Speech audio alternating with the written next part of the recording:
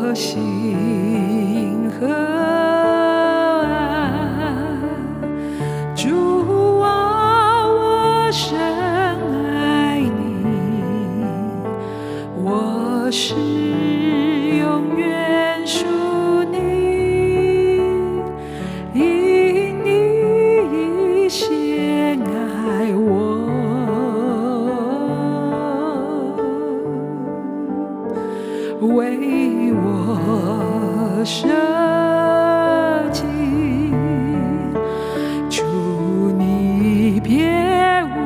所求，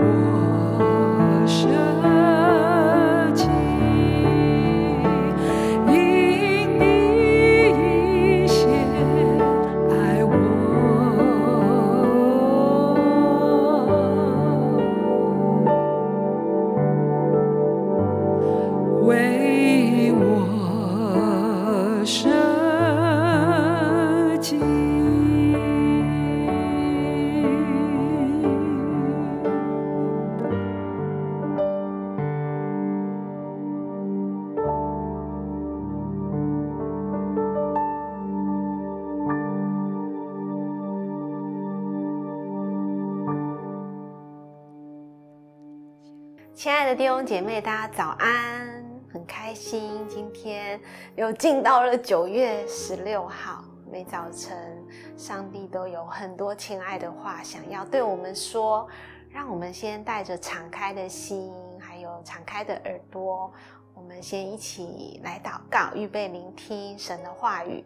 亲爱的神，我们来到你的面前，好感谢你。每天早晨睁开眼睛，最期待的就是来到这位最爱我的神的面前，来聆听你的话。你的话语充满了智慧，充满了力量，充满了盼望，也充满了能力。愿你祝福使用以下的时间，对我们每一个人说话。感谢主，把以下的时间交给你，听我们祷告，是奉靠耶稣基督的圣名。阿妹，阿妹，时间真的过得好快，好快哦！我们今天已经进到九月十六，呃，我们的进度在箴言二十一章一到三十一节。那美言定的标题是“智慧人忍气含怒”。呃，今天的经文因为非常的长，所以呢，呃，没有办法就是每一段都读到。但是鼓励每一位弟兄姐妹，上帝的话每一句话都非常的重要，所以鼓励你就是不单只有听晨兴时光，你一定要花时间来读神的话。那今天的经文呢，呃，总共有三十一节。那我们分成三个部分一起来学习神的话。第一个部分呢，神掌管一切，鉴察人心。呃，今天的经文第一节讲到，王的心在耶和华手中，好像垄沟的水随意流转。第二节，人所行的，在自己眼中都看为正，唯有耶和华衡量人心。第三节，行人义公平，比献祭更蒙耶和华悦纳。十五节，秉公行义，使一人喜乐，使作孽的人败坏。三十节，没有人能以智慧、聪明、谋略抵挡耶和华。三十一节，马是为打仗之日预备的。得胜乃在乎耶和华。以上的经文都在告诉我们一件很重要的事情，就是我们的上帝啊，他是掌管一切的神。就连在这个地上拥有最大权柄的君王或者是总统，都没有办法靠自己的智慧、聪明来抵挡抵挡神，因为我们的上帝呢，他已经得胜了，他是永远的得胜者。那上帝如果今天决定一件事情，是没有任何一个人可以抵挡的，一定会成就，因为他是说有就有、命立就立的上帝。呃，刘牧师常常会说啊，就是今天上帝如果要提升你，没有一个人可以抵挡你；可是相反的，如果今天上帝要把你拉下来，其实没有一个人可以救得了你。那我们在上帝的主权当中呢，其实顺服是。非常重要的，因为呃，上帝的主权永远立定。其实我们每一天啊，花时间读圣经，其实在帮助我们呃进行一个系统思维的转换，呃，可以从这个世界的系统进到一个神国的系统。你知道，当我们有神国的思想，呃，神国的这些眼光的时候呢？呃，我们就会有很不一样的选择，因为这个世界呢，其实会告诉我们，人生呢可以得胜，那是因为你有很好的背景，或是你有很多的财富，或是你有很多厉害的头衔。可是神国的系统却很清楚的教导我们，其实不是依靠势力，也不是依靠才能，而是依靠圣灵方能成事，而且呢，胜败。都在乎我们的上帝，所以不管呢，你现在看这个世界或是这个环境的局势有多么的不好，千万哦不要失望，因为最终的结局就是我们的神已经得胜了。我们真的非常的需要刻意的去练习，让我们的眼光可以常常定睛在这一位得胜而且永远掌权又鉴察人心的神的身上。呃，这段经文呢，特别提到上帝呢，他在意的，呃，不是外面的，他在意的是里面的，他在意人的心，他喜欢人，就是听他的话，呃，他在意公平公义，更胜于一些献祭啊仪式。呃，其实圣经不单在箴言里面提到这样子的话，其实在旧约、新约都有提到。呃，像在旧约的撒母耳记上十五十五章二十二节，撒母耳说：“耶和华喜悦凡祭和平安祭，岂如喜悦人听从他的话呢？听命胜于献祭，顺从胜于公羊的脂油。”在新约的希伯来书第十章六到七节也提到，凡祭和赎罪祭是你不喜欢的。那时我说：“神啊，我来了，为要照你的旨意行。我的事在经卷上已经记载了。”我们要非常的小心，不要每一周到教会参加崇拜小组的时候，因为太习惯了，所以就失去了渴慕爱上帝的心，不小心变成好像一个。宗教的仪式，呃，这个真的要非常的小心，因为一旦成了宗教的仪式，我们很容易失去了敬畏神的心。呃，我常常有时候看到有一些呃事情的发生，我的心里面都会非常的担忧。比如说，呃，台上的牧师在分享信息，可是台下的弟兄姐妹可能在划手机。呃，你知道，我们真的要很小心，因为不知不觉让这个宗教进到我们的生命的里面，以至于好像我们失去了敬畏爱神的心，而且我们不小心变成藐视上帝的话。你知道，呃，我们真的要打从心里，呃，对我们的上帝来真的，因为我们的神是一位真神。如果我们真的相信他是一位。掌管一切，而且他是鉴察人心的神的时候，我们真的需要非常留心、非常在意的是，上帝在意什么，那也要成为我心里面所在意的。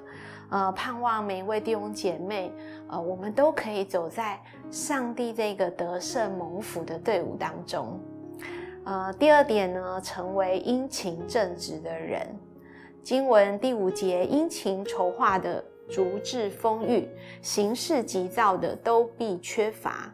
第六节用诡诈用诡诈之舌求财的，就是自己取死；所得之财，乃是吹来吹去的浮云。第七节，恶人的强暴必将自己扫除，因他们不肯按公平行事。第八节，负罪之人的路甚是弯曲；至于清洁的人，他所行的乃是正直。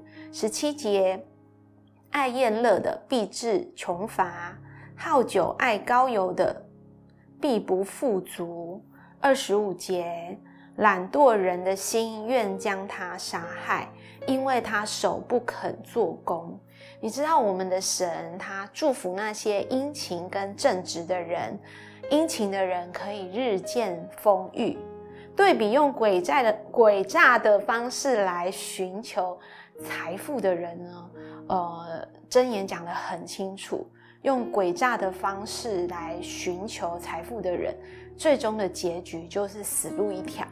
那我想到之前呢，我就听这个一六五的这个呃防诈骗的防治宣导啊。说到这个诈骗，居然是从台湾开始有的，而且呢，呃，它这个产业呢一直都没有被消灭，而且他们也一直不断的进化跟升级，每一天有非常多的人被骗。那为什么这个产业不会消灭？哦，我想是因为人里面那个贪婪的心、贪婪的罪，就是想要急速发财，可是却不愿意。遵行圣经的处事的原则，叫做殷勤工作跟正直的待人。看起来好像暂时选了一条比较容易的路，但是事实上，神的话已经说得很清楚了，这是一条死路。其实箴言书很多的地方提到跟殷勤跟。懒惰对比的这个懒惰有很多类似的教导，包含在箴言书十二章二十四节，殷勤人的手臂掌权，懒惰的人必服苦。呃，十二章二十七节讲到，懒惰的人不靠打猎所得的，殷勤的人却得宝贵的财物。还有其他的经文也提到关于殷勤跟对比这个懒惰的教导。其实基督徒应该是最认真工作、最认真读书的一群人。那因为我们的上帝他本来就是一个最殷勤的神，不是吗？呃，因为他是不打盹也不睡觉，而且呢，他每一天都做心事。你知道，当这个世界环境挑战越来越大的时候，呃，我们。我们会听到很多新的用词，就是呃躺平族啊，或是啃老族。很多的年轻人，呃，因为觉得就是不管再怎么努力，好像也没有什么用。那这样子的话，我干脆不要努力好了，我干脆就是活在我的呃舒适圈，我就每一天有我的小确幸就可以了。但是呢，在青年牧区呢，我们因为相信上帝的话。我们跟年轻人谈的是学业优秀跟服饰卓越。如果已经在工作的社青呢，我们相信，呃，每一个属神的百姓应该是工作优秀、服饰卓越。另外，我们也相信一件事情，就是年轻人就是今日的领袖。那一个选择躺平的人生呢，他的人生只求六十分。他如果考试呢，他大概就说欧帕就可以了。那他工作呢，大概就是完成分内的工作，他一定不知道什么叫做多走一里路。那可能常常时间一到就准时下班，然后或者是多一事不如少一事这样的态度。那这样的态度呢，呃，绝对不会是成为领袖的态度。那呃，圣经很清楚的说，殷勤的人的手臂掌权。那我自己在教会全职服侍一段时间，我的内心真的非常的敬佩，呃，我们的刘牧师，然后师母圣真牧师，还有我们好多的区牧都跟部门的主管，哇，我真的看到他们，呃，他们的生命就是彰显出每一天向着神的殷勤，然后待人的正直，呃，我真的觉得呃非常的敬佩，呃，真的盼望。我们每一个都是属神的儿女，盼望这个殷勤跟正直的生命也在也种在我们的生命当中，成为我们一个属神的记号。嗯，第三个呢，智慧人必致蒙福。